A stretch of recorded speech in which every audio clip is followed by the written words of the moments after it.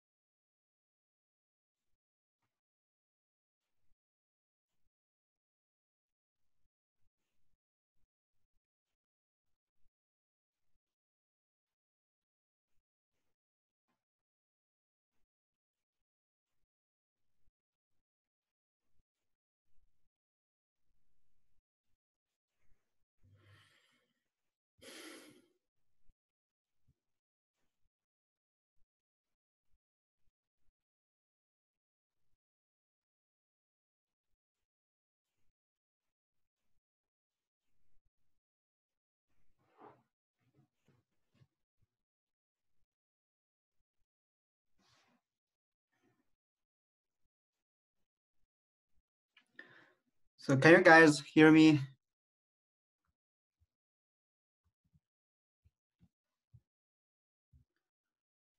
Okay, Yep. We're- great. Mm. Okay, let's start. Let me share my screen with you.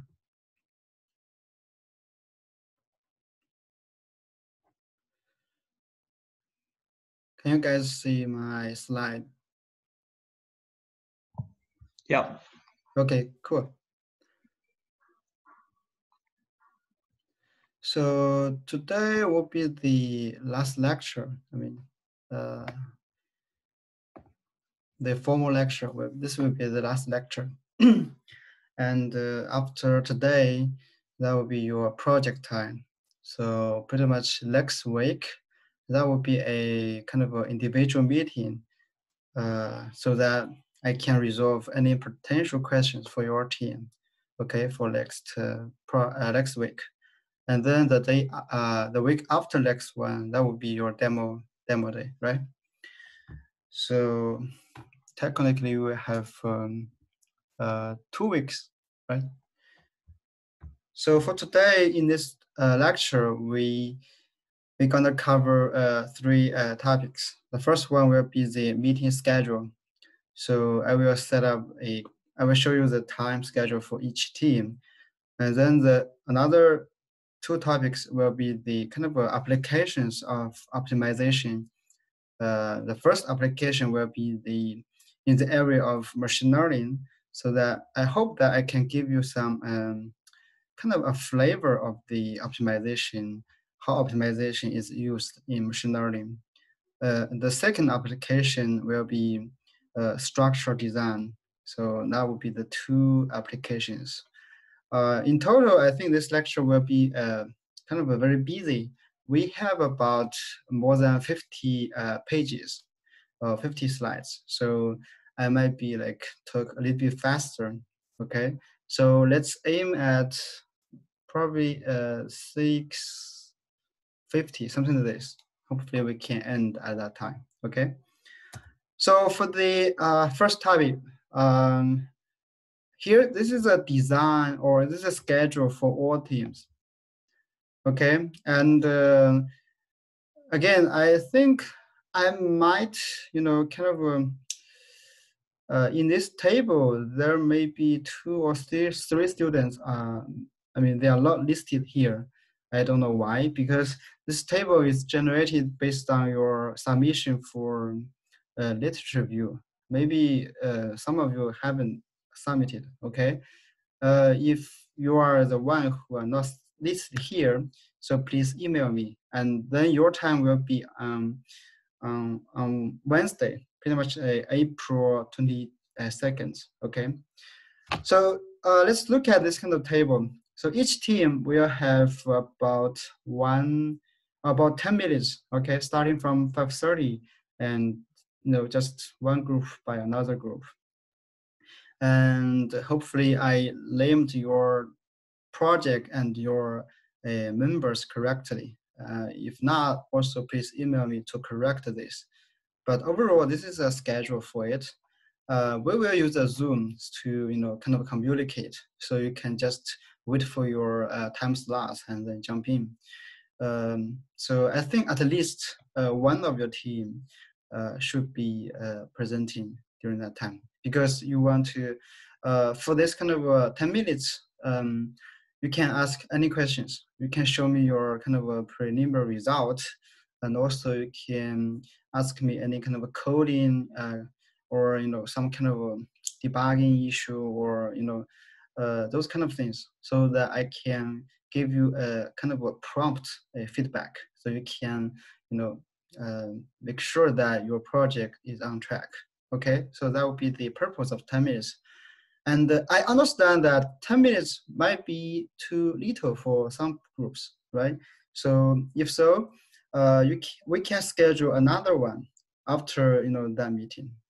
Uh, we will try to use 10 minutes to you know kind of um, resolve any potential questions but sometimes you may need more time. Then we can schedule another time. Okay, so that's the kind of a mechanism to do this uh, project meeting. Uh, after that, you will have one week to you kind of fine tune your model and your output. Okay. Mm. So I think uh, I haven't prepared the project uh, grading policy, but essentially you need to uh, answer four questions. So what's the problem, right?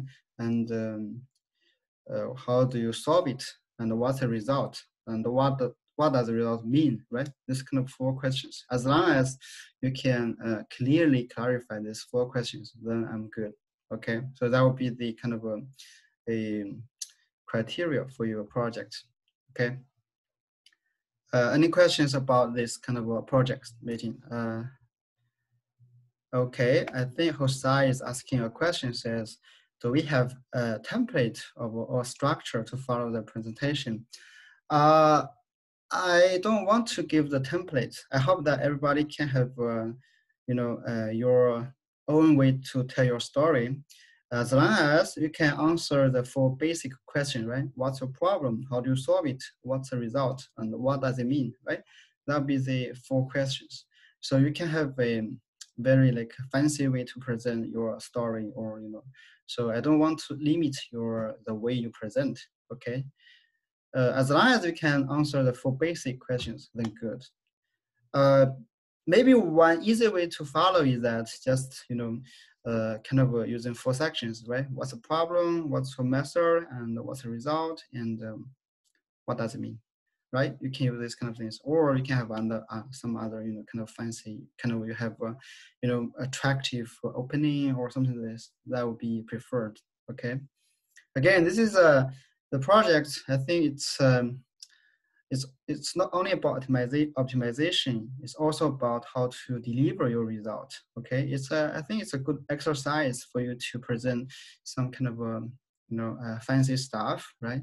How to uh, kind of uh, make sure that your idea is um, uh, kind of um, successfully or clearly delivered and the people or the audience can be attracted okay?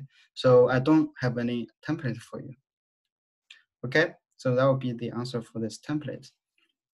Uh again uh if no other questions so we will jump to our two topics today so that would be the first one will be machine learning.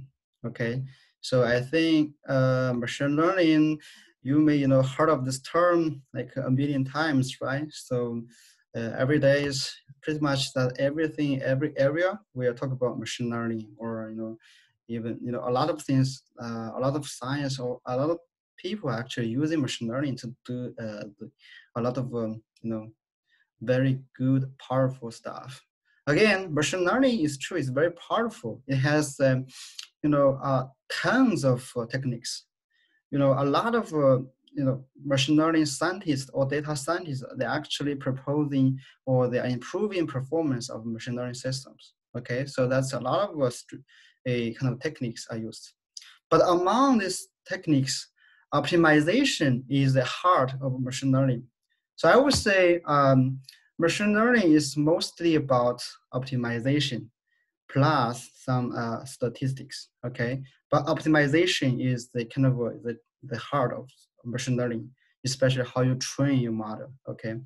Uh, here I list the term, right? When I highlight it as red color, it says optimization or machine learning is about to minimize the loss function. Okay, that's the kind of things. So in this in this sentence, we have two terms: minimization and loss function. That's the kind of two, um, I would say, the the, the critical uh, components in machine learning. And of course, as I mentioned, machine learning has a lot of contents. It's impossible to you know kind of uh, compress this kind of contents in just like um, 30 or 40 minutes uh, lecture, right?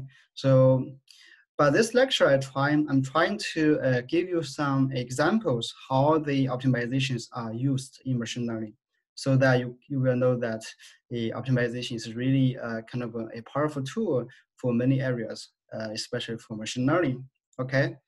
So let's say, uh, again, for machine learning, two topics, right? how to model, so pretty much how to, you know, construct the objective loss function. Okay, loss function is how to evaluate your model. That means loss function. And also how to optimize it, optimization algorithm, that would be the second component. So let's start with the first one, the model, right? How do we propose our objective or how do we convert a machine learning problem into an optimization problem? So let's say generally for machine learning, you're actually learning the, what do you learn? You are learning the kind of a function, right? So you have an input X, and then based on some function or some model, you can have an output Y. So the idea is that in real world, right, you can have a lot of, um, you know, this kind of equation y equal to f of x, right? So which means that um, given some kind of uh, uh, data, you can predict the performance or some other stuffs, right? So that would be the kind of uh, the model is basically the F, okay? And depends on, you know, what Y is, there will be two types. If Y, if the output is a label, for example, uh, if you say like, um, if the result is good or bad, something like this, right? This like just good or bad, that would be a label. Or is a you know in the figure does that kind of a, you know figure or that kind of um, uh, images contains a cat or a dog that would be a kind of label right? You want to label the images as cat or dog or even a cow something like this right? That would be a label. It's kind of a discrete right? So just some like a very limited label just you know good or bad cat dog cow. These are labels. This kind of a question or is called classification problems. You're trying to classify what kind of things uh, the X is. Okay, that's classification. Another type is regression. Regression is that you are trying to predict a quantity. So for example, you're trying to predict what is um, the kind of uh, revenue for a kind of a restaurant in a, in a day, right? Or you want to predict what's your, you know, the kind of um, I would say your cost tomorrow, something like this. That would be the quantity. Or another way that another example is, for example, we we have a phone, right? So you want to know that uh, when your battery will die, right? So what's the remaining life or remaining useful life of your battery? So that also a kind of it's a quantity, right? How many days, how many hours? There's a quantity. So to predict such kind of things is called regression.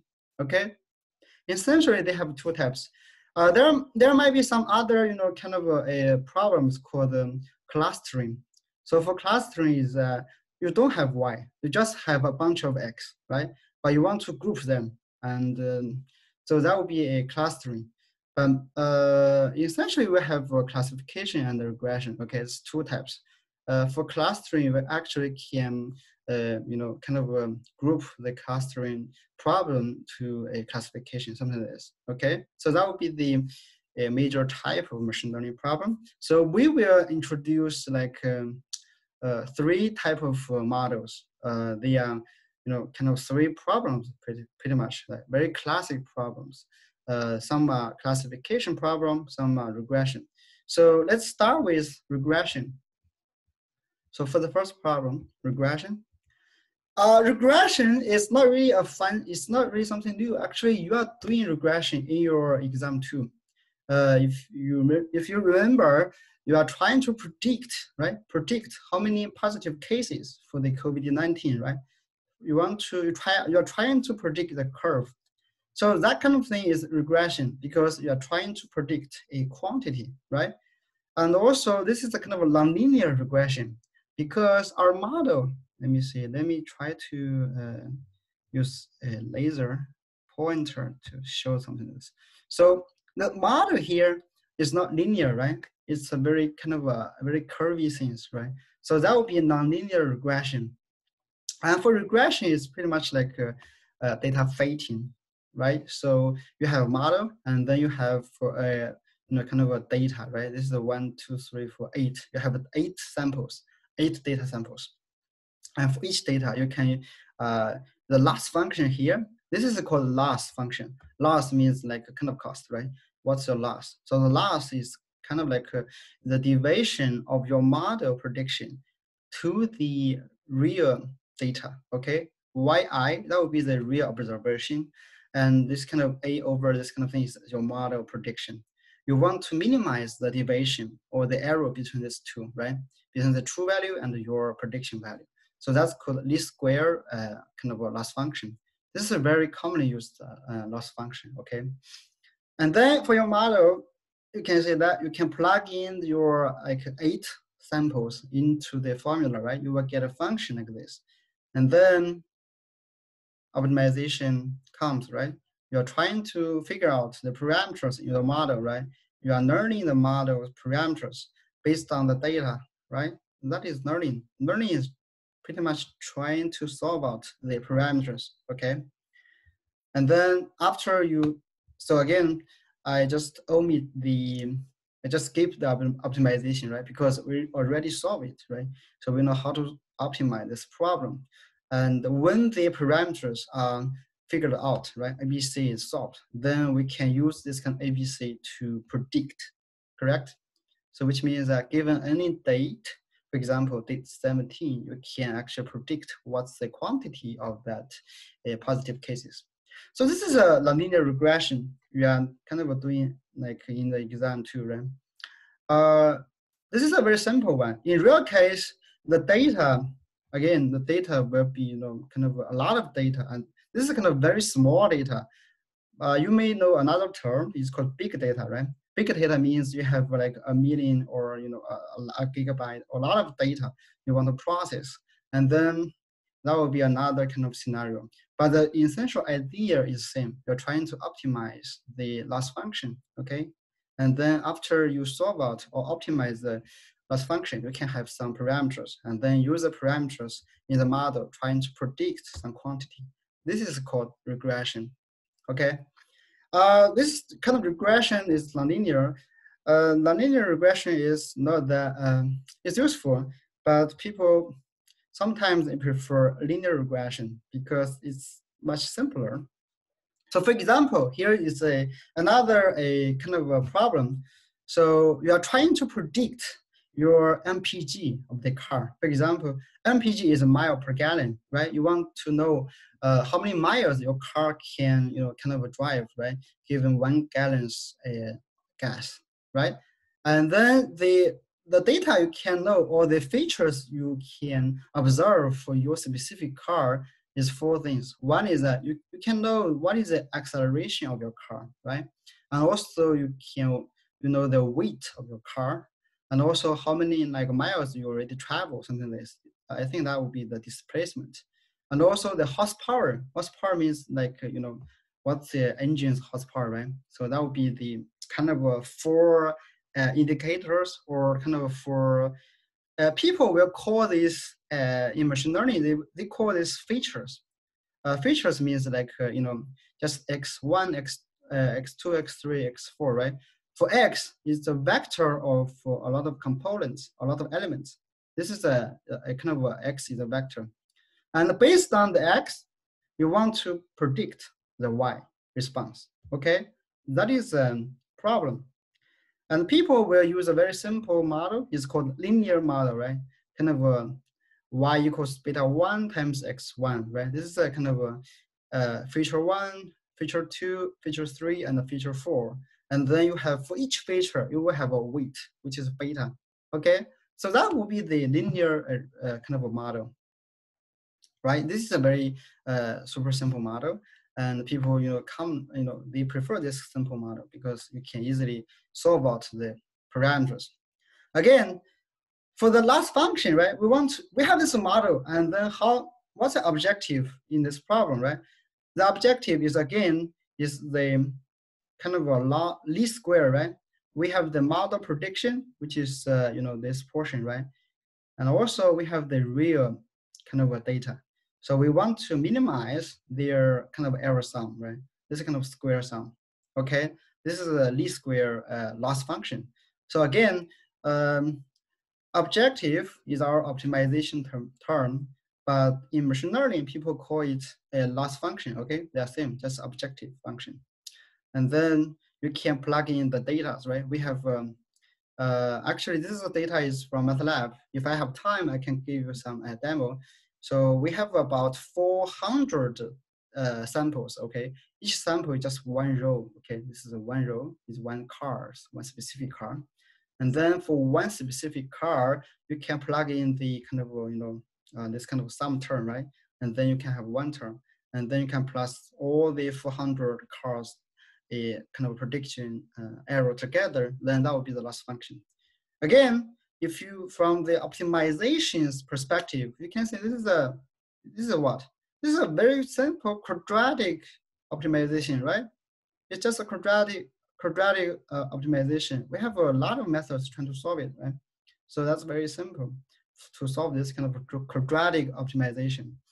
Uh, then we can, uh, I just skip the optimization procedure we can, you know, after optimization, we can get four, you know, uh, kind of the, the, the weight, right? Beta one is minus point uh, 02, something like this, right? This is a kind of a, a optimal solution. And if we have this kind of a solution, then given any new X, right? Any given any new car, if you have this kind of a four features, then I can easily compute the MPG. We can easily predict it, right? This is a linear regression. We just have a linear model and a quadratic uh, loss function, and then we can solve it. Okay, so this is called linear regression. It's simple. Uh, so, but sometimes linear regression is not uh, enough. The reason is there are some drawbacks of linear regression. Uh, the drawback is sometimes pe people will call overfitting so you can think about this question. Uh, if you have uh, kind of uh, features, for example, you have a feature like a, a hundred different features, okay? Like uh, x1, x2, x4, x100, a lot of features, right? a lot of x. But you only have um, about maybe just two or three data. For example, you just have a three or four cars, right? And then how do you compute the hundred different parameters, a hundred different ways, right? There will be a lot of uh, different combination, right? So the optimal solution will be, you know, kind of, it's not unique. There are many, many feasible solutions. So you want to pick the one that's give you the, you know, the best prediction, right? So you want something like, a, which is um, more reasonable solution. So people we are trying to regulate this kind of a solution. So they want, the first thing they can think of is that they hope that the coefficient could be as small as possible. Because if your beta or your parameters, they have a very weird combination and they can fit the data, but the beta will be somehow like, for example, this will be a million, this will be a billion, something like this, right? It's really a huge number and it's not stable. So you can predict a very wrong result. So people don't want this kind of things. And that kind of thing is called overfitting. Your coefficient is too large or your parameter is too large. So people trying to um, kind of penalize this kind of large uh, kind of parameters. So that that one is called a constraints or you know linear regression with constraints. Okay, this is a this is a, a more kind of a, a widely adopted methods because this can avoid the overfitting or sometimes it can give you some um, a good result. Uh, the idea is that we have uh, two, uh, you know, two commonly used constraints. So one is that we hope that the absolute value of each weight, we sum them together, that will be a very small. So this is called L1, right? L1 norm. And L2, that will be the square sum. Let's talk about the first one. Uh, if we have a model, this is a previous linear model. And then we hope that the coefficient is small, is very small, right? Somehow, for example, we can give some constraints. Or in other way, we can actually in our objective function, right? We can convert a constraint into a kind of a penalty term, right? So we can have a lambda and also uh, the absolute value for each weight, right? We can add up together. This will be the L1 uh, constraints, okay? And then we have a lambda. So lambda means like uh, uh our kind of a weight for the uh, constraints, right? If lambda is huge, then we hope that the beta will be as small as possible. And this kind of thing is called lasso regression, okay? Because it has this kind of L1 norm. Lasso is represent some kind of terms we can look up later, but pretty much that's the idea. We're trying to add this kind of penalty term here. Uh, so what here, this is the result. So the horizontal axis is the lambda, the lambda here. For example, here, the if lambda equals to one, this is a specific to one, then we will correspond to four betas, right? Corresponding to one solutions, okay? So this is a, this curve is beta one, this curve is beta two, this is beta three, this is beta four. So that's the kind of uh, for a specific beta, we can have uh, a specific solution. Uh, for one lambda, we'll have a specific beta, right? That will be the solutions. And also we can generate a lot of different beta, right? For example, smaller beta or large beta, right? You can get different solutions. So very, very interesting here. If the beta, you, you can say if we start from very small beta, for example, from zero, right? Then we can, all the betas are, you know, they, they have some kind of um, values, right? They are not zero. But when we gradually increase the lambda, lambda here, then what happened is that some beta or some coefficient will, you know, come to zero. We bec will become zero, right? This is a very interesting result because when we increase the beta, some terms or some beta will be kind of zero. There's no effect, right? We just eliminate them. And then when we continue to increase the lambda, for example, to some level, there will be only one, for example, here, only beta 2 is the significant one, right? The other three will be, become zero. What does this mean? This is a very interesting uh, property of lasso regression.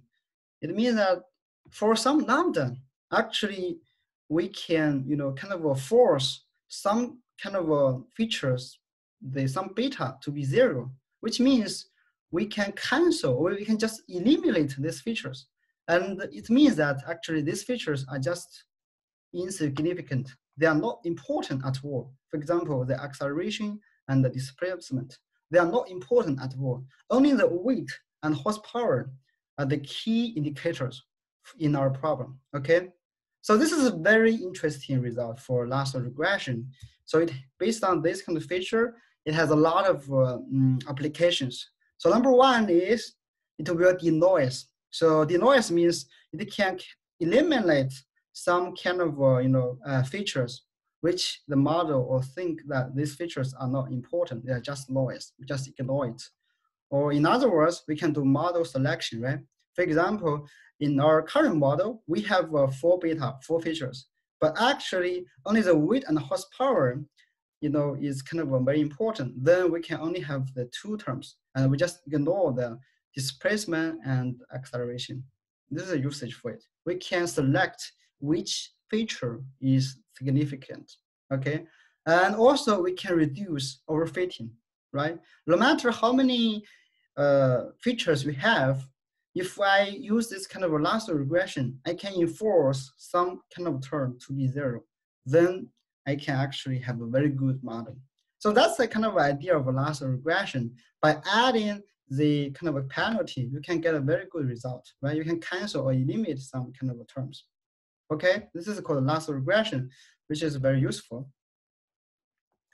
A, let me see, do you have any question for now for this kind of lasso regression?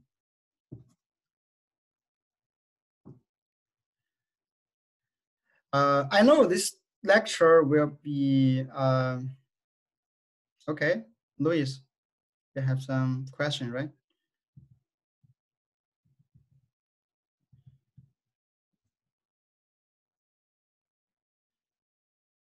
So this lecture will has a, a lot of information, so you can, you know, um, lasso regression. So uh, Luis' uh, question is, is lasso regression just applied for a linear regression? Um, so yes, so that's the model. It's you can because this this kind of a specific formulation can have the you know very easy solution. Uh, but the idea of adding the L1 penalization, right?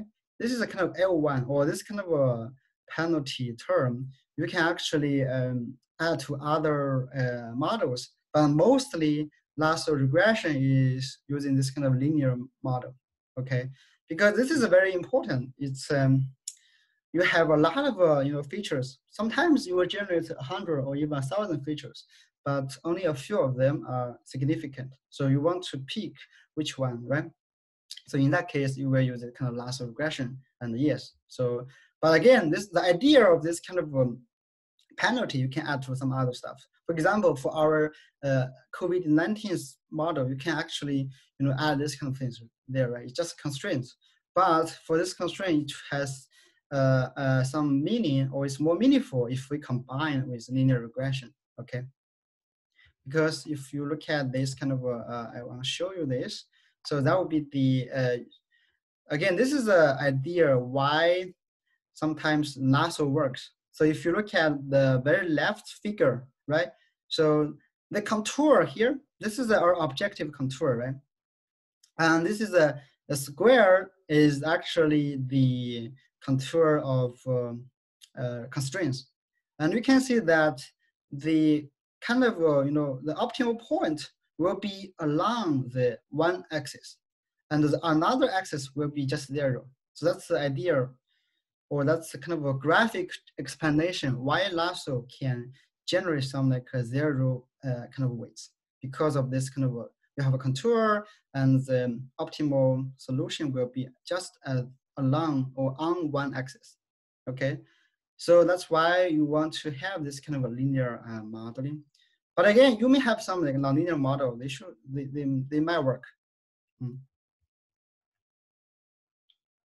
Yeah, that's very interesting result for this kind of a lasso regression. Yeah, uh, sometimes people call this uh, kind of a compressive uh, sensing, right? So you have a very limited data, but you can have a good model. Okay, you can denoise. So that's called lasso regression. Uh, there's another kind of a constraints. So besides use the absolute value, you can use the square value, right? For beta, you can square some. So if you have this kind of a penalty, then you have another kind of regression model which is called ridge regression. Uh, that's a totally uh, new, uh, different things. Uh, but to, I mean, you can uh, look up later. So I will skip this model. But generally, it will generate some model that has very small beta, but it cannot uh, enforce some beta to be zero. Only lasso can do this, okay? But ridge is also very useful. It can, you know, kind of um, limit the beta to be a very small value. Uh, you can also see you can also see the result from here, right? Uh, if you look at this is a kind of a ridge, uh, kind of a regression, right? We have the L2 constraints, which means that the square sum? So you can see the square sum actually is touching the contour, is not along the axis. That's why the kind of you know square sum cannot have this kind of you know zero uh, coefficients you can also see from the this, from this kind of figure. Okay. So that will be the uh, regression part. Then we'll jump to another different animal, right? This is called uh, a very different uh, algorithm It's called support vector machine or SVM. This is also a very useful and uh, I would say kind of a simple method. Uh, support vector machine is for classification. So it's pretty much to classify uh, which type you are. For example, here, in this figure, we have a square, right? This is square type, right? And this is a kind of a, a circle. So for each point, for example, here, you will have one x1 and x2, right? So we just plot the feature here, or plot the samples here, right?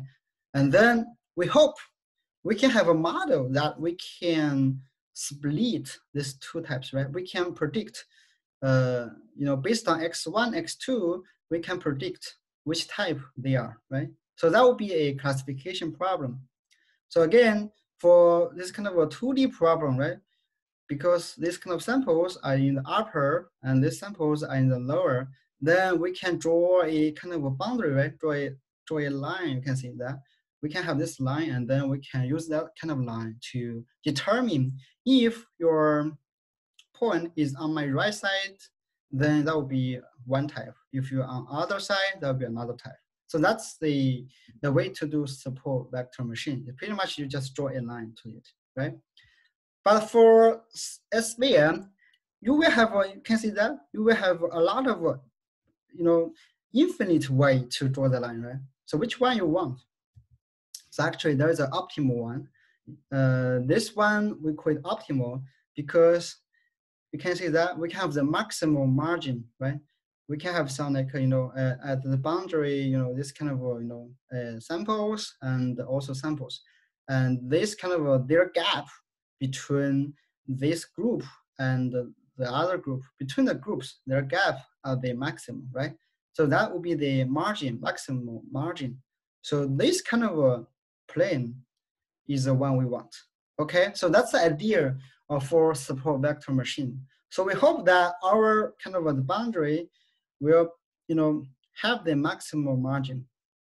Uh, sometimes this kind of uh, the this kind of you know uh, samples they are called support okay because they just support this kind of boundaries. So that's why we say support vector okay. Um, you can see that this is another graph showing a similar idea. This is a support vector, right? They are on the boundary and then we hope we can draw a kind of a line that as large as, you know, the gap is as large as possible. And then here's uh, some mathematics here. Uh, for the gap here, if you want to see, our model is also very simple, right?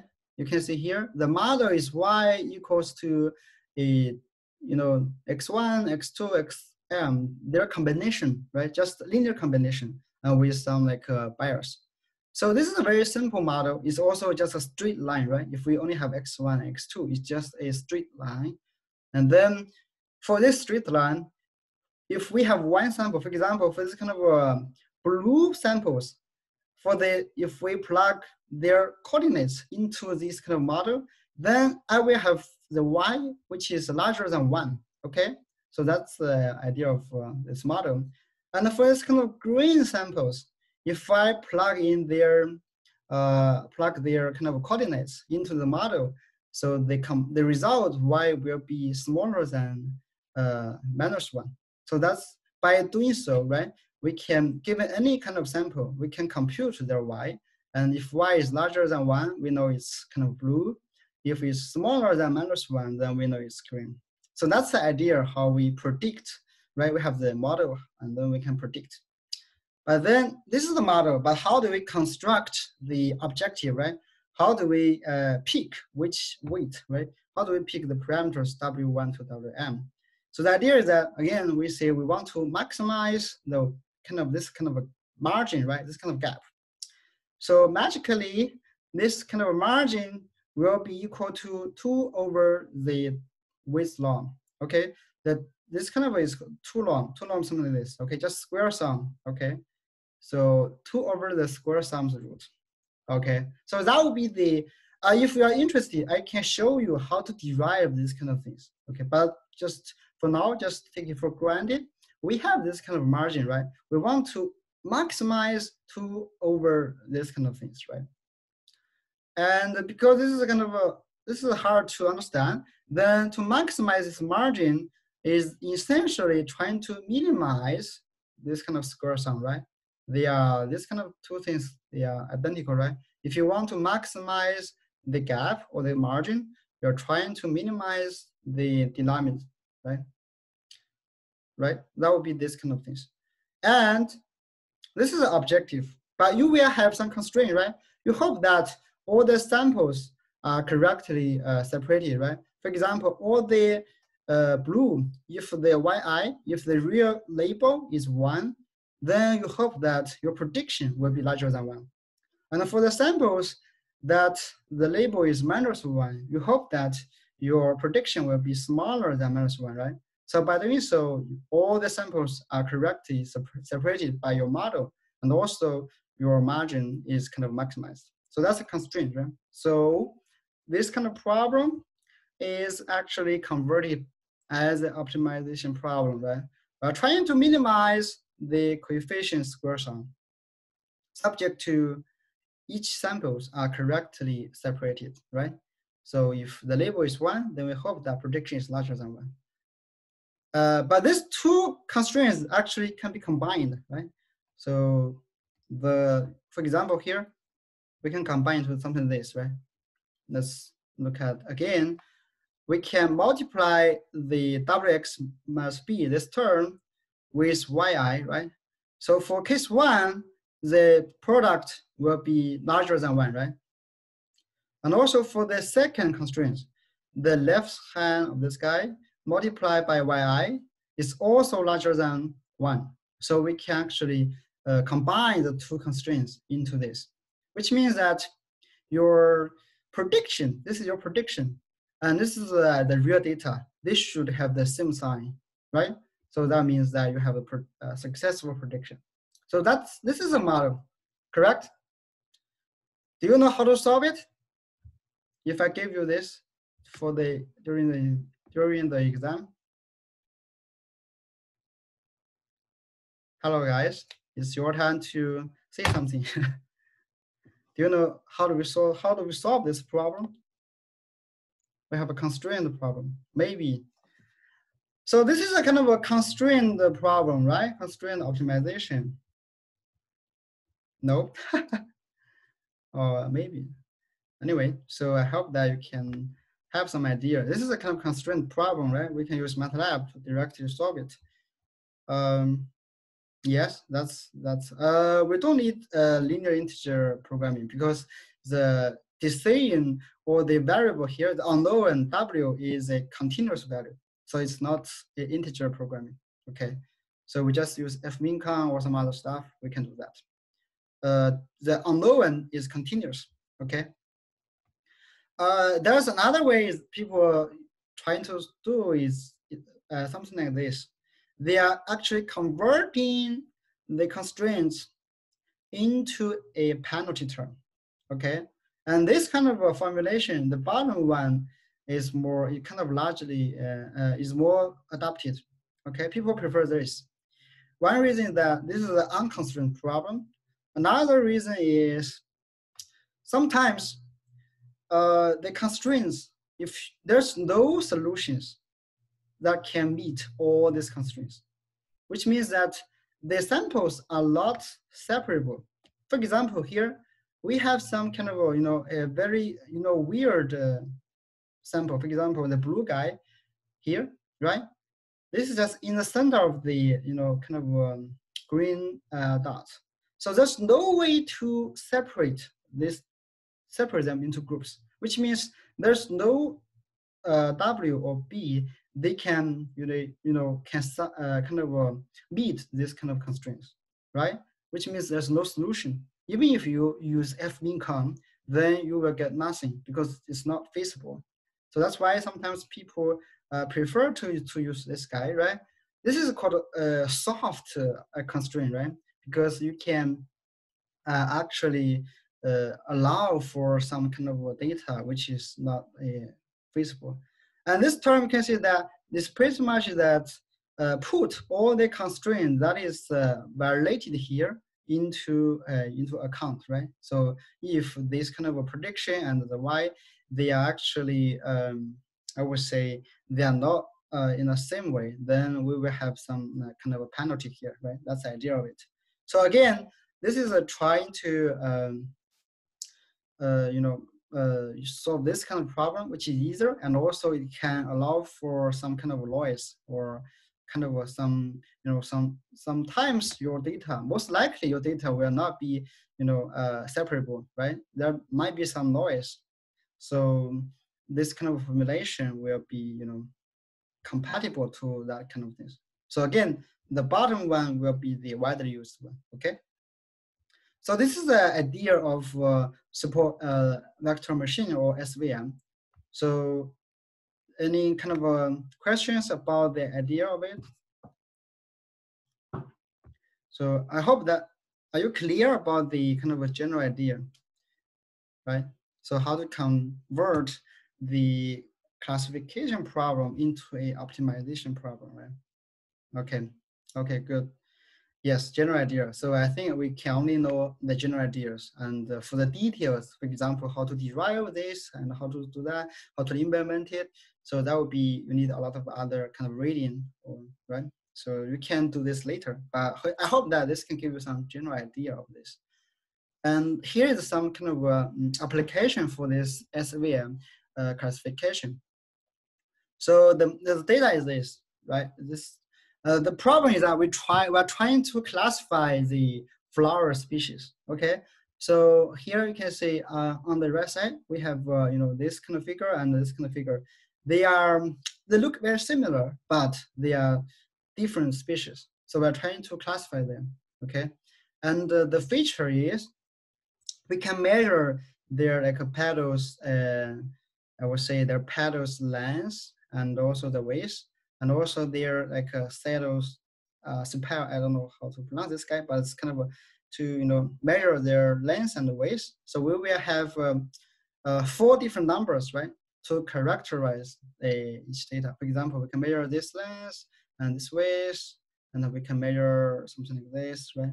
And then based on their data, we're trying to predict or we're trying to uh, classify which species it is, right? So from the data, we can say this bunch of, uh, you know, the first uh, one will be setosa, and the last five was last five will be the color, right? So that would be the different labels. This is a classification problem, right? Then, based on this data, we can train or we can, you know, this is X, right? This is a Y. This is we can we can say, for example, setosa will be one, and color will be minus one, right? That will be our kind of a prediction. And then this is X. Then we can plug into the data here, Xi and Yi, and we can we can basically constrain or we can construct this kind of optimization problem, right? And then we can minimize the this problem and give some weight, right? And then we can actually have this kind of, uh, you know, this is the result uh, we can have, uh, you know, we can see that if we plot the samples, we can see they are clearly separated, right? This is, um, uh, let's say the cross will be versicolor and the dot will be setosa. And we have a very huge margin, right? So that would be the kind of SVMs. Again, this is a, this is a MATLAB's, um, I think it's MATLAB's uh, demo. Uh, I don't think I have enough time to give you some demo. So later I will give you a separate PDF trying to include everything uh, or all the kind of uh, demos, okay, you can run. Um, but for now, I don't think I have the time. So this will be the application for SVM, right? You're just trying to support, uh, trying to classify the different, uh, you know, kind of classes, okay? Uh, any questions here? Okay, so this is again, this is kind of like a, good. This is kind of a seminar, right? We just uh, you know uh, listen for fun, right? Just for fun. Uh, this is the end of the second uh, model. So the our third one is a very powerful one, right? Which is called a neural network. You may know this, right? Neural networks, NN. CNN, a lot of N, right? People have uh, used this kind of a neural network to do a lot of fancy, uh, kind of um, uh, fancy stuffs, right? Like, uh, you know, people can train in the images, right? You can classify the images. You can uh, do the, uh, for example, the, um, uh, how does that, the speech recognition and uh, translation, a lot of stuff actually. They can use the neural networks to do this, especially for deep learning, right? They are actually one type of neural network. So today I give you some like very, very simple introduction to this. Uh, here, this link, I hope you can take a look at this link. So my images or my figures comes from, it comes from this kind of link, okay? It's, uh, it's very, uh, I think this is very comprehensive uh, uh, explanation for this topic. You can, if you have time, you can take a look.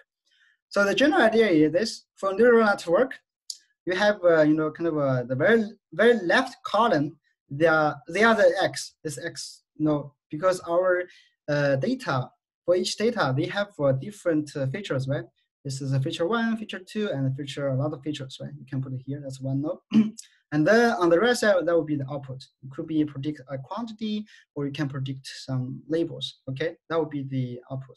In between, you will have a lot of hidden layers, okay? They are hidden. You can have a lot, uh, a lot of layers. So, for example, uh, I think Microsoft generates some like um, uh, neural network with like a hundred something like layers, okay?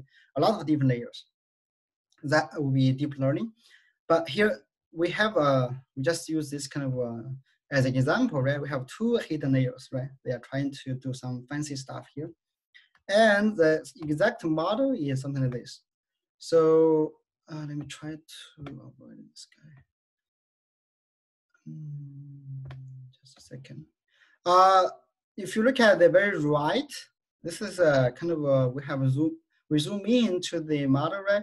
We have a lot of layers and uh, each layer will contain some nodes, right? For example, for this node, uh, the computing of this node is very easy.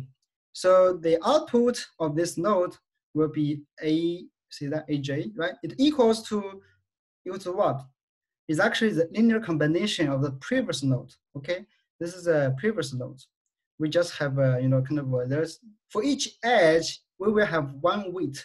So the weight times this kind of uh, the value here, and the weight times value here, right? So that would be the kind of weighted sum of the previous layer of, for all nodes, okay?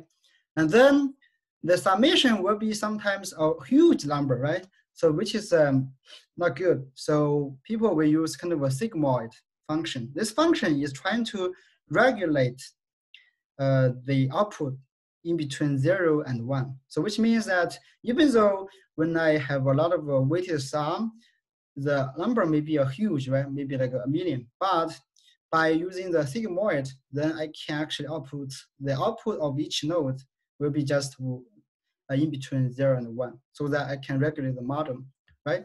Otherwise, the model will be, you know, kind of go crazily. So that's the idea. So the model is pretty simple, right? For each node, you just repeatedly compute the weighted sum of previous layers and then output the next layers. That's it. So that's a model. And for this model, right, this is the model, but how do you evaluate your model, right? What's the loss function? So the loss function for neural network, uh, okay, let me see, do I have some, oh, there's no question. Uh, for the loss function, or how do we evaluate, again, here's, oh, here's what? Here's the, what is this?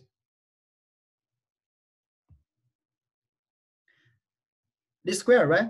I hope that you can recognize. This is a least square. So for one x, I will use this model for any input x. I will use this model to its norm or use this model to predict a yx, right? That is the output. And then this is a prediction, y of x.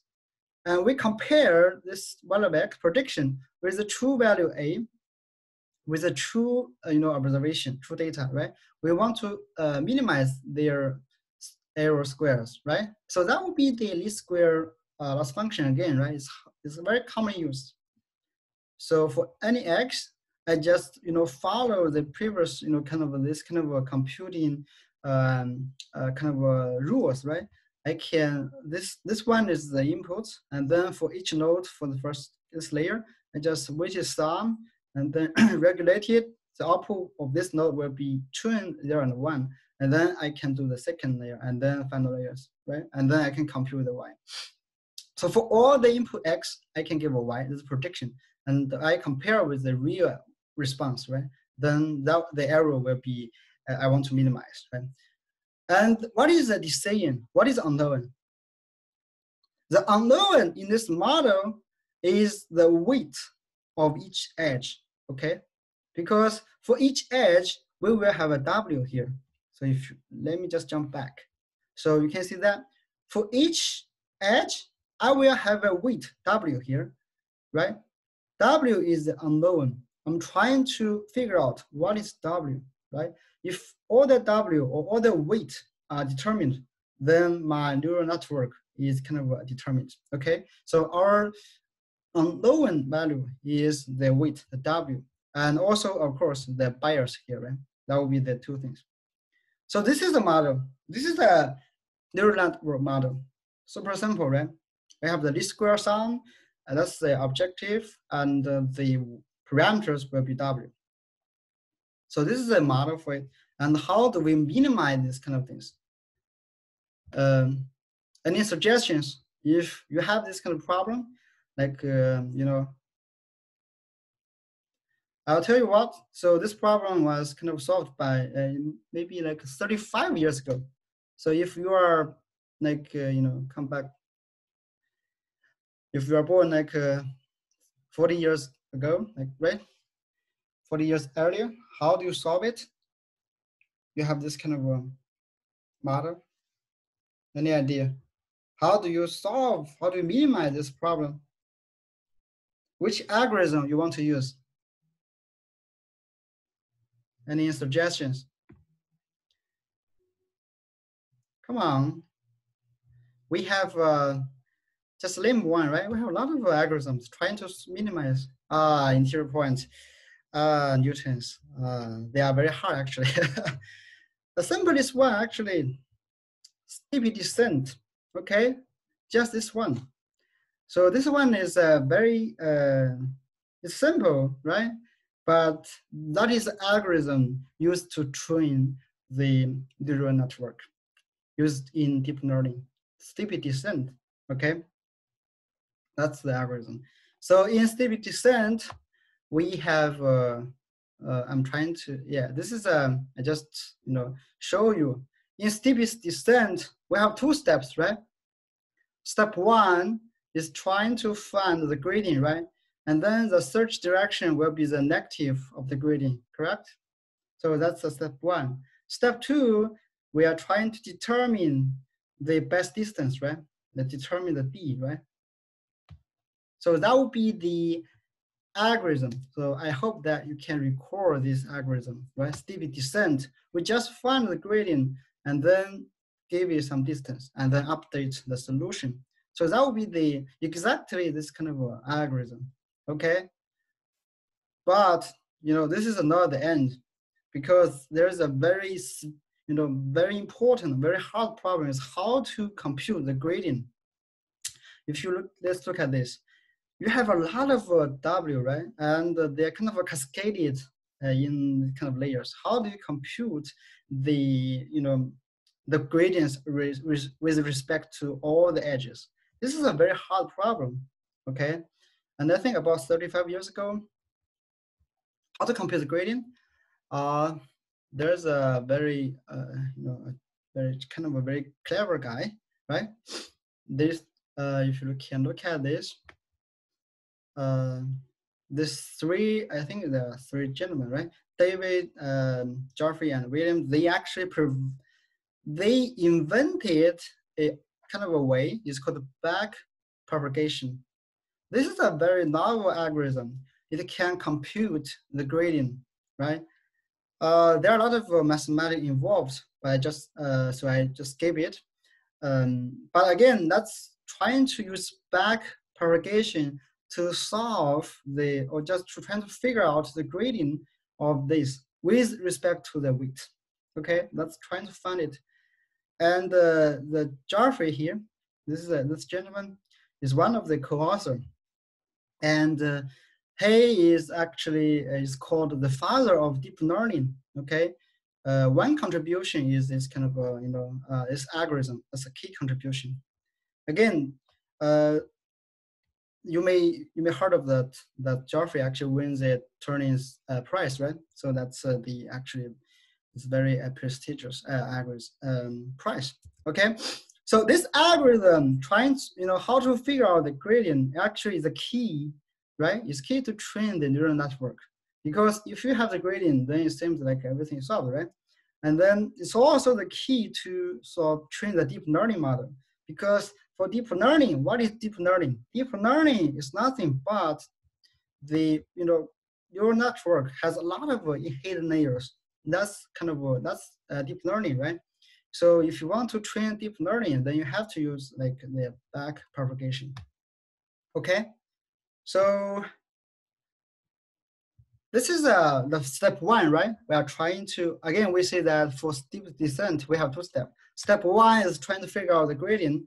And we have this kind of a back propagation to figure out the gradient. And what is second step? We're trying to determine the moving distance, right? So here's very different, uh, you know, unlike our steep descent algorithm, right? Because in our steep descent, what we do, we are trying to evaluate all the points along that direction, right? That is our method. But this is a sometimes this is very hard or even impossible for deep learning because your data, what is your data? Your data is kind of a gigabyte, megabyte, right? There's a lot of uh, data. You cannot really, even for one evaluation, it's very expensive. So you don't really want to evaluate all the points. So you have to, you know, use other way to determine your, you know, moving distance. For example, here in this model, we say this is a gradient of the cost, the gradient of the cost, right? The C, the gradient of the objective we figure out. I'm sorry, here should be the gradient of C. I, I didn't change it. So this is a the kind of a del C, okay? That's the gradient of the cost function. And then eta, eta is the distance, right? Eta is the kind of a distance D, right, in our version. But in machine learning, people call it learning rate. Okay, learning rate is the value here. It's a constant value. So what's it's not it's a, it's just a number, right? What's the number here should be? How to you know uh, pick the eta here? That would be the learning rate. Uh, so because it's impossible to you know kind of compare different eta. So people have some other ways to compute the eta. Okay, so that's the uh, and then people call this uh, kind of a learning rate, eta, right? Which is our uh, walking distance, right? And uh, people have different strategies or different policy to update this eta. And uh, different policy will have uh, different rules. And they actually, they are called by different, you know, kind of, um, uh, they have different name. For example, this is kind of SGD. SGD is something like this. So SGD is that it's called a stochastic gradient descent. Actually, it's uh, uh, it's not about learning rate. It's about how to compute the gradient. So for the gradient, because we have a uh, you know the data is big, so when computing the gradient, we don't use the whole data to compute the gradient. We only you know kind of randomly pick a very small portion of the data each time, we just pick a small portion and to compute the gradient. That is called stochastic gradient, okay? That is one way to, you know, um, kind of make the algorithm faster. And another one, this is kind of ADA gradient. This kind of thing is talking about, it's kind of like a conjugate gradient method. It's, uh, the idea is that we'll keep some information of previous gradient, okay? Other than just use the current gradient. So this is kind of ADA grad. Uh, the most commonly used one is called ADAM, okay, adaptive moment estimation. Again, for each algorithm, they will have a specific, uh, you know, way to update uh, eta, okay? And if you want to know something uh, about uh, some details about this algorithm, you can look into this, uh, I mean, this link, okay? for now, this uh, this algorithm, they are just standard library, just call them, okay? You don't need to implement them. But I hope that this kind of a short lecture can give you some idea what's inside of the you know neural network and how they train the neural network, okay? It's nothing but the steep descent, okay? And they have a fancy way to compute the gradient and they have fancy way to determine the, or the, the distance, okay? So that's the idea of it. Uh, again, this is a kind of a machine learning a you know resource in MATLAB. You can, if you have time, you can take a look. Uh, I for now I have uh, you know kind of um, end my first topic right about machine learning, uh, the optimization applications in machine learning right. So hopefully by this kind of several examples, you can know that how the optimization is used in machine learning so pretty much is machine learning is about to convert model into a loss function and then trying to optimize it, right? So any questions here before I, you know, jump to another totally new or totally different topic? Okay, it seems that everybody is happy. Um, again, this is a lecture, right? Or it's kind of like a seminar, just you know, uh, you know, to kind of take it for fun, right? Uh, again, this is another kind of a machine learning uh, in Python. You can use this kind of, a, you know, uh, just take a look at this one. They have a lot of algorithms. So for now, nowadays, machine learning, they are actually uh, pretty standardized. They are standardized and you can, it's like a building, it's kind of like a building block. You just use it. You don't need to care about the implementation, okay? It's just like you just grab, just like you are doing some like a design some PowerPoint or slides, just drag and place, and then you can have the model, okay? So that's the kind of the current status for this learning. But I hope that you can uh, have some idea about the inside of it. So for the second topic or the second application of, of optimization is pretty much called structural optimization. Is how to is kind of a, the applications in structure design. Okay, so for structure design, here's something like this, right? So I don't know, I think that everybody take the course called uh, stat, uh, statics, right? Or the name? statics, do you? So this is um this is statics, right? That's great. So this is statics problem, right? Give a truss structure. This is a kind of truss structure, right?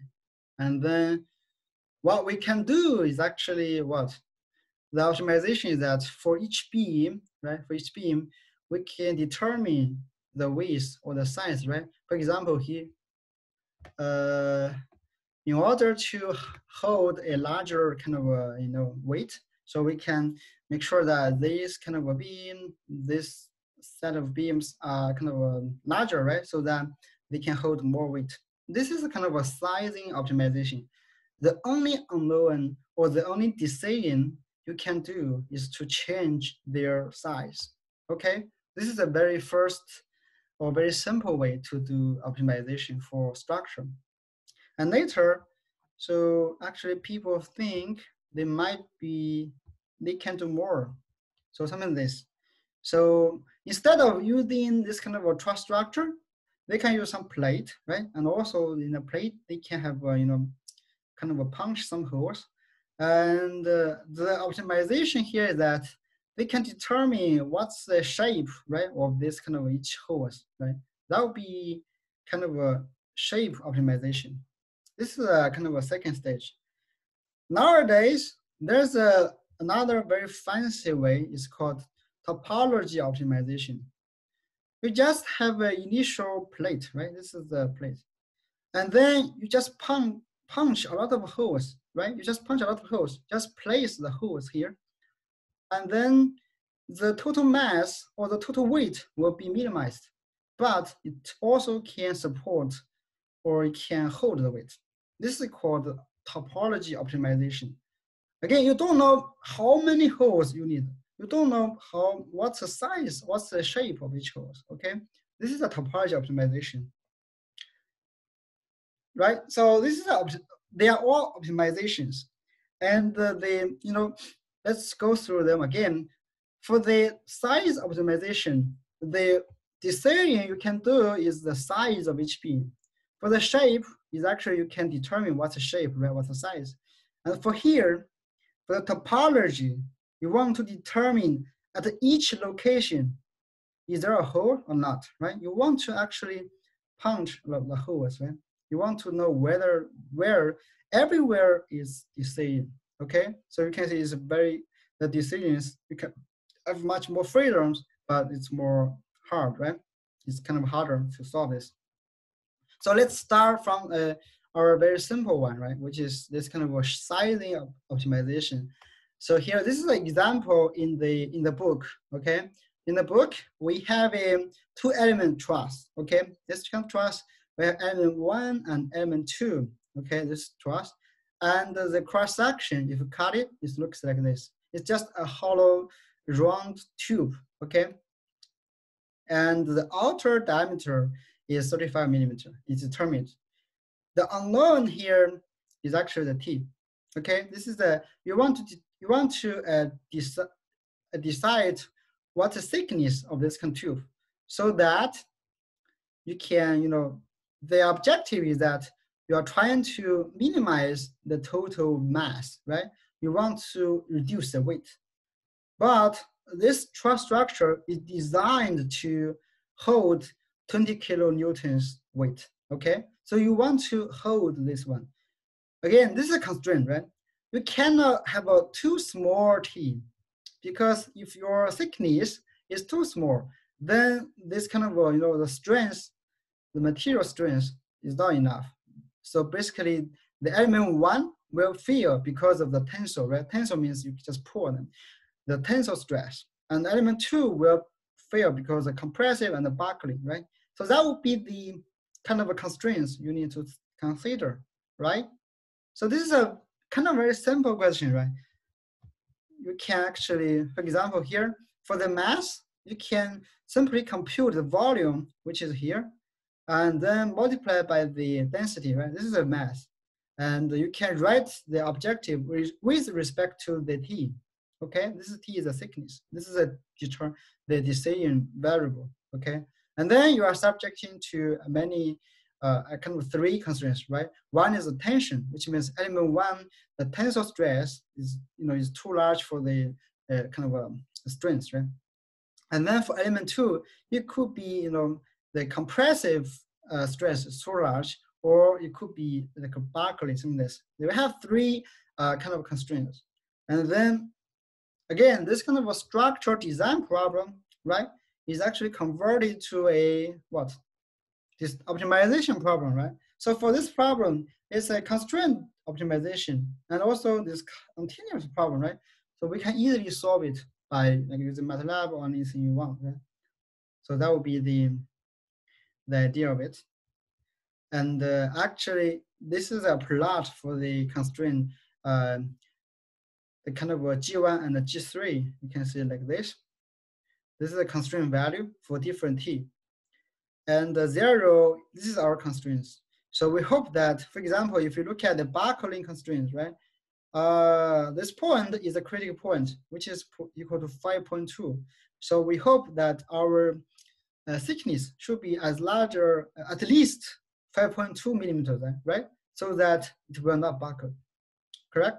So that would be the kind of a solution for it.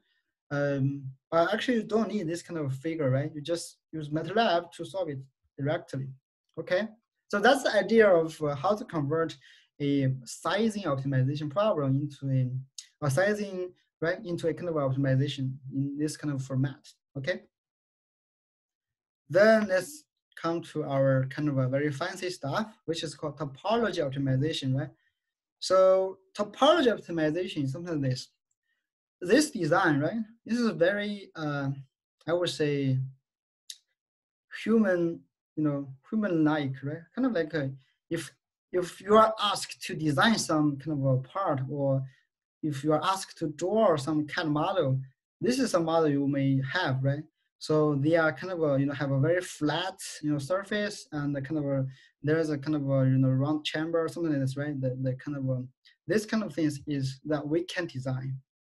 But this design obviously is not the optimal one, right? So you can see a lot of material actually can be reduced and it will not affect the kind of, uh, you know, strength, right? So for topology optimization is trying to reduce the materials, okay? Something like this. This is a um, result from a CAD software. So I will show you later. So we have this kind of a software that install in my computer. We can generate this result directly, okay? This is a, the current status. So for current uh, CAD model, we can directly generate some kind of like this very, I would say, bionic structure, okay? They are, they they are kind of very smooth, right? They looks kind of, I don't know if you are, if you are feeling comfortable or not, but actually the, you know, they looks more bionic than this one, right? And you can see a lot of material, they are kind of reduced, okay? So this is a, this is a, this is called a topology optimization. And here I will use the following slides to show you how to do this. Actually, I have a MATLAB code. You can try, okay? Actually, we can do the similar stuff. And uh, let's say, let's start from, again, this is 3D. 3D is very complex. Let's start from 2D, okay? We, let's start from 2D problem. Let's say uh, we have a kind of a beam, okay, a plate, right? This is a plate. If you look at the, the bottom left, this is a plate. And the plate or the kind of a beam plate is attached to a wall, right? This is a kind of a constraint fix. And we want to hold the F, right? This is a load. We want to hold the F. The optimization is something like this. We're trying to punch holes or topology optimization. The key idea is trying to find where to place the holes. Okay, that's the key idea, right? So the problem, let's put in other kind of, uh, you know, in other words, so let's say, uh, let's say we want to uh, reduce half of the weight, right? Which means we want to say that half of 50% of the weight, or 50% of this kind of plate is hollow, right? It's holes. And another 50% uh, is kind of solid, okay? This is a kind of a 50%.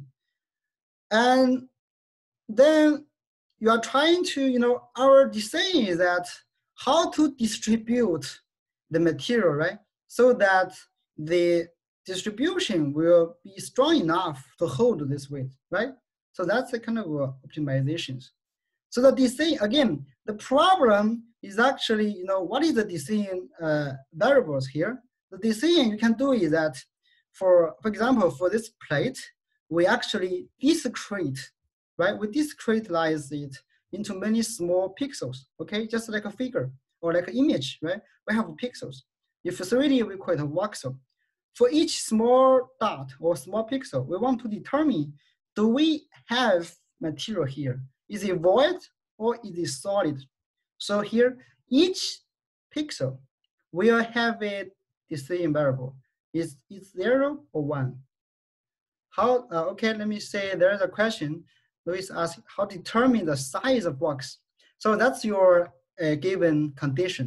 So I this is a given con condition. So I, uh, for example, in your application or in your kind of a, uh, a, field, you want to have a kind of a beam that can be like two meters long to hold a kind of car. That is a given condition. Okay, the size, this kind of overall size is given. And the only de determination or the, the variable you want to do is that you discretize this kind of a box into many small pixels and trying to um, determine which pixel is zero, which pixels, which pixel is one, okay? So I would say, yeah. again, the box is kind of a given initially, okay? Okay, can you hear me? Can, uh, okay, go ahead. Uh, so my question is how to determine the the size of that pixel? I mean, oh, the pixel. That's a very good question. So, the that's a very good question. So, how to determine the pixel size? So, uh, here is a trade-off. You don't want to have a very small pixel, right? For example, you have a too small pixel, then your number of uh, you know unknowns will be you know kind of a uh, you know kind of a square you know becomes goes like um, I don't know for example, if you have one millimeter size initially, then if you decrease to 0.1 millimeter, then the number of uh, variables will be kind of like be uh, a uh, hundred times more, right? So you cannot have a too small size, and also you cannot have too large. If it's too large, then the resolution is not good. You will have this kind of zigzag, and it's not continuous. Then that will be bad. So there will be some kind of a you know sweet spot that the size will be exactly you know uh, something you can accept. So mostly topology optimization is very time consuming. So people will try to use a larger uh, kind of a resolution or larger scale first, and then gradually or somehow you know uh, reduce the size to give a better uh, kind of a, um, uh, a better solution for it. Okay, so that's uh, it's this is a kind of a hyperparameters people need to you know determine first. Okay. Yeah. Um, there, there is not like a, a no dimensionless constant that can tell if the size is too huge or too small because in, in the case of for example in cfd that is computational fluid dynamics there is a parameter that is called y plus. So it's everything like a, uh, you calculate that y plus and if y plus is more or less than one you are in the good range depending of the model that you are using. So there is not something similar so, in yeah, I, I think I think this is talking about the meshing, right? How to uh, get a mesh, uh, uh, kind of a, a mesh with uh, uh kind of enough fidelity. Yeah, there's a very yeah. There are a lot of uh, consideration to determine the mesh size and mesh grade. Yes, I agree. So people have a lot of study on it. So, but mostly in one iteration or in one kind of um, running, you have to determine the size first. Okay, so this is a again this is a very simple case. Uh, sometimes you can have some like you know adaptive um, meshing, right? Some area you can have larger size, or sometimes you can have a smaller size. That also works. But for meshing, that's a totally new story. But here we just mentioned that this is a kind of a, um, the, the, the idea of it, right? So we just say we have this kind of a, a you know very I mean the size will be determined by some other stuff. Okay, let's say, let's assume that the size is given. Okay, how about this? Okay. Yeah, I think Luis, your your your your question is great, but I think you uh, you can look for some other details about this, how to pick the right size. Okay. So for now, we let's agree that we are using this kind of uh, you know uh, some specific size right? And then we generate a bunch of uh, you know uh, different pixels. And then for the decision is which for each pixel you want to determine whether it's one or zero. But sometimes you can get some intermediate right? It's from could be 0 0.5 or 0.2 and then you can later filter out. So this sometimes is called density uh, methods so it's kind of relatively density like um, uh, it's zero means it's void, it's air. One means it's solid. Okay, that's the decisions. And for the model itself, this is a model. So again, if you look at this kind of uh, the the constraints, we have uh, three constraints. For the first constraint is that we can set the we need to satisfy the material ratio or the mass, okay? The volume, for example, if F, F is a constant number. For example, F is 0.5, which means we need to make sure that 50% of the mass are reduced, okay? That would be the kind of uh, the, first constraint. The second constraint is, given this kind of F, it will result in some kind of a deformation, right? This is a FEA. This is a this is a finite element analysis based on FEA, you will get, given the F, you will get the kind of, you know, displacement or the kind of a deformation for each cell, okay? That would be the kind of a deformation model. And for each cell, for each kind of a pixel, you will have the uh, deformation. Then based on that, the deformation for each cell is pretty much about strain, right? Strain is something like you are kind of pulling it. So the strain, so you can actually use this term, right? The the kind of a displacement, you know, double them, and then you will have the strain energy.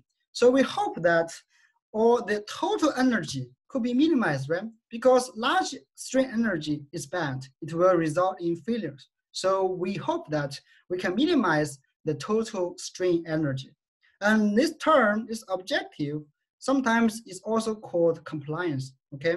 So that's the idea of this kind of optimization. So we are actually trying to minimize the total deformation energy, right? The strain energy, given the kind of material uh, ratio, okay?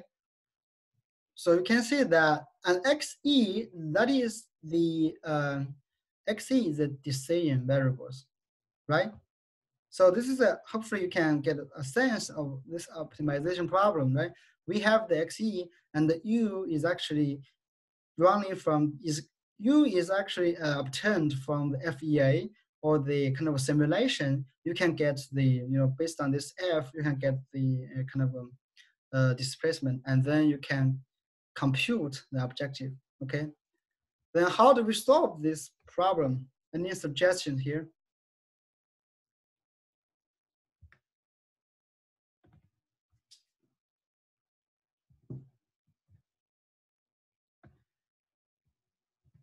Um, so the idea to solve this kind of thing is sometimes people call uh, use the KKT condition, okay? Because this is a equality, this is an equality constraint, right? So we can easily find the you know KKT conditions. So for KKT condition, right? So this is a constraints, and then it equals to the you know the you know this kind of uh, the first constraints of this. That's the, but how about the second constraint, right? So this is a trick for the optimization algorithm for this specific problem. So for each iteration, uh, for each iteration, it will solve the the kind of a displacement or kind of solve the deformation first, okay, given the current x. So which means the u is not constrained now, it's actually solved. We directly solve this equation and then we can know the use here, right? We just plug in here. And then if we solve this kind of equation, then the problem will become just one objective and one constraint, right? So which is here. They minimize the constraints or the objective and also the constraint is this kind of volume constraint. And this kind of a simple problem has a KKT condition, right? Which is this, right? The gradient of the objective equal to or parallel to this kind of things, right? The constraints. And then we can solve this kind of um, uh, constraint first using MATLAB. We can solve this kind of equation, then we can get the x, right? And then we can update, we can run a second iteration. So the idea is that using the current x, we figure out the u. And then the problem will be simplified. And then we can solve the simplified version and get the x. And then repeatedly solve these tools. Okay, so that's the algorithm for this. Um, actually, there's a MATLAB I can show you. Let me say, uh, do I have time? Uh, let's say I'm trying to open it. The MATLAB for this.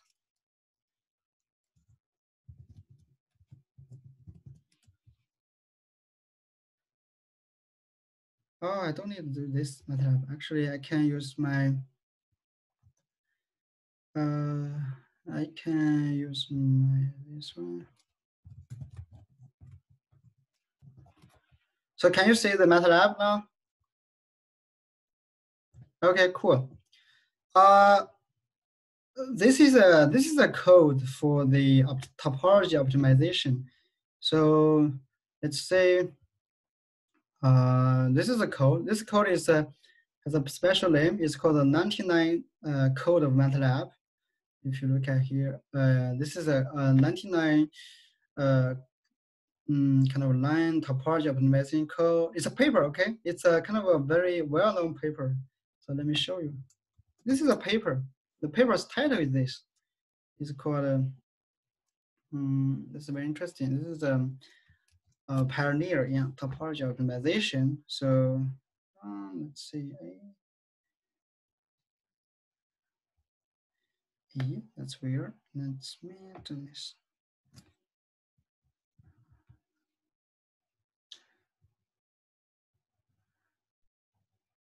So if you look at here, so this is a paper. The title is this, and it already cited by more than a thousand, you know, papers. That's a very uh, classic uh, code. Actually, you can run it. So here's a kind of a things. Uh, let's run this. Okay, for example, let's run this. Uh, this this is how to uh, call this function. So the first input is the the x. How many um, voxel? How many pixels in along the x? How many pixels? How many pixels along the y? Okay. In total, we have uh, 500 pixels, and then we want to keep the volume ratio as 40%, um, 0.4. Okay. The f is 40%, and then p is the parameters in the model, and there's some other parameters. So let's just run it. It same some error, right? What happened? So I probably need to, hmm, okay. It seems something goes wrong here. Hmm. Let's see, it should be uh, working.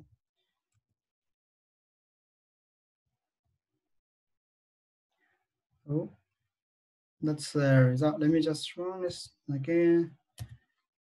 Okay, we can see the running, right?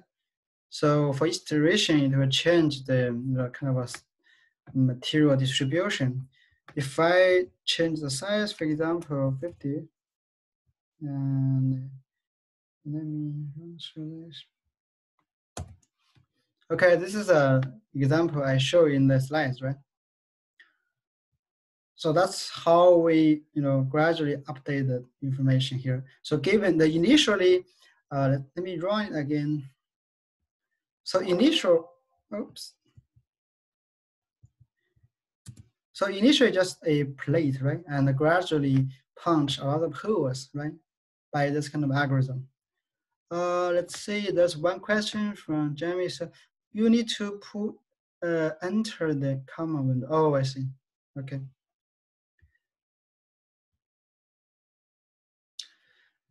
Uh, so this is uh, the algorithm, and we can actually dive into this code a little bit. So for example here, so let's uh, just add a breakpoint here and we're trying to run it. So the first line is trying to initialize the x, right? Because we say x is a kind of a 500 uh, uh, determined, right? 500 uh, unknowns, right? So it's kind of a matrix. So for each value, it will be 0.5. That's the initialization. And then we just start with some loop and then x out. Again, this is a step one. We're trying to use FEA to obtain the kind of a, a this deformation for each for each pixel, right? This is the FEA model. And you can dive into this FEA model. And then at this moment, this kind of uh, things is trying to figure out the gradient, okay? You can say DC is actually the, the gradient. Because in if you want to use KKT to solve the problem, you have to figure out the gradient, right? The gradient of the objective and the gradient of the uh, of the of the constraint, right? So this is a kind of a figure out the gradient, and after the the gradient and also the gradient will be kind of regulated, okay? Trying to check. Will be filled out some like uh, very huge numbers. And then this function OC is kind of a, um, opt, opt, optimality uh, criteria. Is trying to, this is trying to solve the KKT condition, okay? This is trying to solve the KKT condition. And then after it's solved, then X is updated for one version. Okay, you can see some number has been changed, right? from 0.5 to 0.7. And then you can uh, actually display and then you can uh, output the color, right? So that would be, you can see this is the first iteration. We get some idea like this, okay? And then you can run again, it will do another iteration. Again, it will use the current X and trying to figure out the kind of deformation first, right? And that deformation will be used to construct the gradient. right? The gradient is construct, constructed, then you can solve out the KKT condition and then figure out the X, okay? And then you can take a look in, and then I can update the images, right? This is a re updated result. So after second iteration, we got something like this. So by running more iteration, so when to when sh when should we exit? Uh, the idea is that if the solution has no change, then we can actually exit. That's the idea of it. So you can see finally we get this result. Okay. Cool, right? So this is a optimization. Uh, you can actually, I will upload this so you can just play with this. This is 2D. So for 3D, the similar idea, uh, but for 3D, uh, you you know it, it, cannot be finished within like a hundred codes, right? So actually, there's a kind of a lot of uh, currently a lot of uh, CAD softwares they have the packages.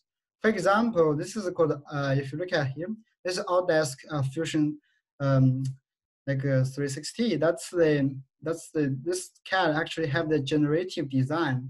Generative design is actually the, the, the, the another term for topology optimization. So let me jump back to the you know our slides. So again, our method, our current methods is called density methods. There are some other kind of called level set methods we can look up later.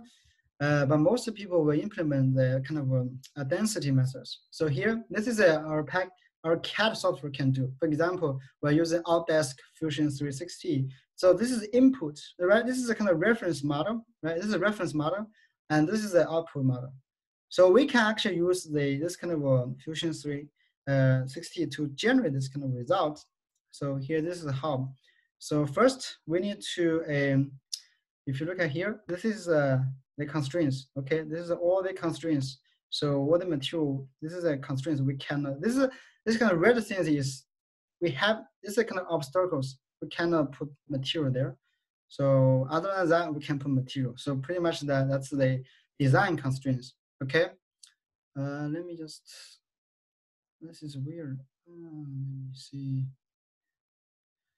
Uh, yeah, kind of, you can, uh, you can download and trying to see how to like, uh, this is a software package you can use, like how to design model, how to, uh, you know, give some like uh, uh, geometry, and this is some constraints, and this is objective. For example, for the objective, we can, what we can see is, we can have two ways. One is that we can minimize the mass, the volume, right? For now, our current version is the volume is actually play as the as a constraint, right? But in our optimization theory, for the constraint and the objective, they can switch, right? This can be some kind of a, we can constrain on the kind of objective and the pull the constraint to the objective, right? So that's pretty much the way uh, this package is doing, right? You can minimize the mass or you can maximize the stiffness or maximize stiffness is equivalent to minimize the compliance, the same. But you need to uh, kind of give some like, um, what's the mass you are targeting, right? So that's the, this is uh, the formulation in our slides, okay? And if I click the run, there's a kind of generating. So I can click like generate, so it will run the simulation and give the result. But it will take a very long time so let me just show you the result. Okay, so here this, this is the result, for example here, and this is how I see that. This is the actual result. You can generate a similar result here. So this is, uh, if you look at here, um, this is how we do the, okay. So this is a, um, uh, oh, let me just pull this away. You can see this, right? So that would be the idea of uh, generative design, okay? Uh, I think that will be all for today and uh, this master's lecture. Okay, everybody? And I hope that you uh, really enjoy it. And uh, okay, any other uh, questions before I end this lecture. Can you Okay. post the um, exam codes? Sure, we'll do that. Uh, I will do that um, maybe by tomorrow morning, something like this. Okay. Mm. Okay, and don't forget our next week's meeting. Okay, so I hope that I can give you some feedback so that uh, you can have some fine tune for your final project. Okay. So wonderful. So that will be all for today, and uh, thank you everybody. So yeah, see you next week. Bye bye. All right, thank you. Bye bye.